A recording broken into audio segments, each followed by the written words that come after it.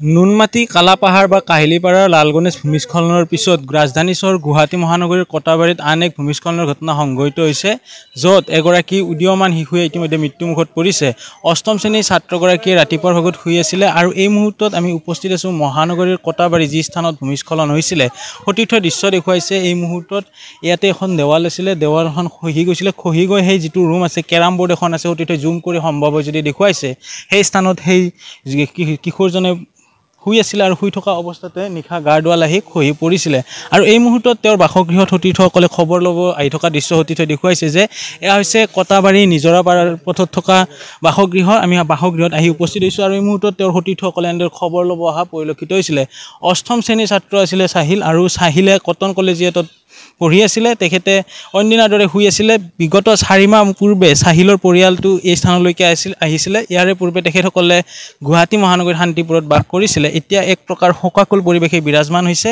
এই স্থানৰ দৃশ্য সতীৰ্থই দেখুৱাই গৈছে যে এই স্থানত এখন গাৰ্ডৱাল আছিলে আৰু গাৰ্ডৱালখন খহি পৰাৰ পিছতে মৃত্যুমুখত পৰে কিন্তু সৌভাগ্যক্ৰমে পৰিয়ালৰ আন যি চাৰি সদস্য আছিলে তাৰে পৰা ওলাই যাবলৈ সক্ষম হৈছে আৰু এই মুহূৰ্তত আমি সতীৰ্থ যিহেতু বাসগৃহত আছোঁ কিছু আহ, তেখেতসকলৰ পৰিয়ালৰ লোক আছে বা অন্যান্য লোকসকল আছিলে তেখেতসকলৰ পৰা কিছু মন্তব্য ল'বলৈ আহ, চেষ্টা কৰিম আহ, দাদা কি হৈছিলে वो रात को सुबह बारिश हो रहा हम नहीं था इनको बोला তে গোটেইবোৰ ৰাতিপুৱা শুই আছিলে। আমিও শুইয়ে আছোঁ শুই থাকোঁতে বৰষুণ দি আছিলে। তে গোটেই ইহঁতে দেউতাকে আহি চাইছে যে ৱালটো কেনেকুৱা হৈ আছে পৰিব বুলি কৈ আছিলে।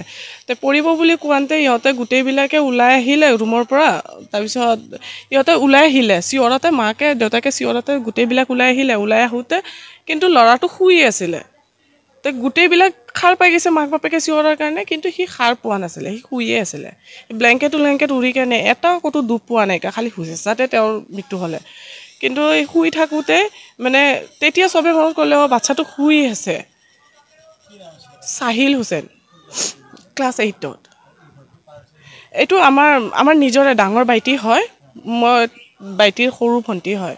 এইটো মাৰ ঘৰ। হয় একেটা পৰিয়ালৰে আছিলে যিখন দেৱাল খহি আহিছে সেইখিনিও একেটা পৰিয়ালৰ বুলি উল্লেখ কৰিছে আৰু ভিতৰ ভাগলৈকে সতীৰ্থ আগবাঢ়ি যাব দৃশ্যসমূহ দেখুৱাব যে আমি উল্লেখ কৰিছোঁ যে ৰাজধানী চহৰ গুৱাহাটী মহানগৰীত প্ৰথমতে যদি চোৱা যায় আহ, কালাপাহাৰত ভূমিস্খলন হৈছিলে তাৰে পিছত লাল গণেশত আৰু পিছত যদি চোৱা যায় চানমাৰীত ভূমিস্খলন হৈছিলে। আৰু এই মুহূৰ্তত বাসগৃহৰ পৰিৱেশ দেখুৱাইছে যে সকলো পৰিয়ালে ভাঙি পৰিছে দুখত কাৰণ নিজৰ সন্তানটোক হেৰুৱাব লগা হৈছিলে। নিশা যি ধৰণে এক প্ৰকাৰ বৰষুণ আহিছিলে আৰু সেই বৰষুণৰ পিছতে এই ভূমিস্খলন হৈছিলে। আৰু তেখেতৰ পৰিয়ালৰ খবৰ ল'বলৈ আন এগৰাকী ব্যক্তি আহিছে আহ, দাদা কি গম পাইছিলে? আমিতো ল'ৰা একেলগে পঢ়ে স্কুলত পাণবজাৰ কটন কলেজিয়েটত। স্কুল যোৱাৰ পিছত এঘণ্টামান পিছতে মেমে আমাক খবৰটো জনালে যে এনেকৈ চাহিল ঢুকাইছে বুলি কিনে। আমি মানে অতিকৈ চক লগে লগে যে ভাবাও নাছিলোঁ যে এনেকুৱা এটা সি শান্তিপুৰত থাকে বুলিয়ে গম পাইছিলোঁ। কিন্তু লাষ্ট কিছু মাহৰ পৰা ইয়াত আছিলে বুলি কৈছে এতিয়া মাকক সোধোতে। কিন্তু সঁচাকৈ আমাৰ মানে বিৰাটেই দুখ লাগিছে ল'ৰাজন খুব মানে নিৰ্জু আছিলে। ক্লাছত লগ সমনীয়াৰ লগত প্ৰতিটো কথাতে মানে লগ ভাগৰ লগত গোটেইখিনি ভালকৈ ব্যৱহাৰ কথা বতৰা সেইখিনিক লৈ আমি লগৰ ল'ৰাৰ মানে পেৰেণ্টছ হিচাপে আমিও মানে খুব দুখিত। লাষ্ট দুই তিনি বছৰত তাক একদম ক্ল'জলি আমি সদায় পাইছিলোঁ। সেইকাৰণে আমি খবৰ ল'বলৈ আহিছোঁ ঘৰলৈ। আছিলে তেখেতৰ অভিভাৱকৰ মন্তব্য বাহিৰ ভিতৰ ভাগৰ পৰিৱেশ দেখুৱাইছে সতীৰ্থই যে জুম কৰি দেখুৱাবলৈ মই অনুৰোধ জনাইছোঁ। কি কৰিম মই কাক চাই জীয়া আছে কাৰণ ক্লাছ অষ্টম শ্ৰেণীৰ ছাত্ৰ আছিলে আৰু উদীয়মান এটা যুৱক আছিলে উদীয়মান প্ৰতিভা আছিলে এই মুহূৰ্তত উল্লেখ কৰিছে যে এনেধৰণে এতিয়া শোকাকুল পৰিৱেশে বিৰাজ কৰা পৰিলক্ষিত হৈছিলে। আৰু এইখিনিতে উল্লেখ কৰিব লাগিব যে গুৱাহাটী মহানগৰীৰ দ্বি শতাধিক স্থান যদি চোৱা যায় চৰকাৰ কৰ্তৃপক্ষৰ ফালৰ পৰা ভূমিস্খলন প্ৰৱণ এলেকা হিচাপে চিহ্নিত কৰা হৈছিলে আৰু সেই এলেকা চিহ্নিত কৰাৰ পিছত এইখিনি স্থানো কিন্তু ভূমিস্খলন প্ৰৱণ এলেকা হিচাপে চিহ্নিত হৈছিলে। তাৰে পিছতো তেখেতসকলে কিয় চাৰি মাহ পূৰ্বে এই স্থানলৈকে আহিলে? সেয়া কিন্তু এটা ডাঙৰ প্ৰশ্ন। বিশেষকৈ আমি উল্লেখ কৰিছোঁ যে আমি বাতৰিৰ বাবে বাতৰি কৰা নাই যে ৰাইজে সজাগ কেতিয়া হ'ব প্ৰকৃততে।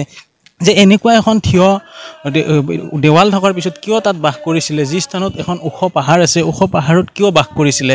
যিহেতু তেখেতসকলৰ আন এটা বাসগৃহ শান্তিপুৰত থকা বুলি তেখেতসকলৰ পৰিয়ালৰ লোকে উল্লেখ কৰিছে যে চাৰি মাহ পূৰ্বেহে ইয়ালৈকে আহিছিলে।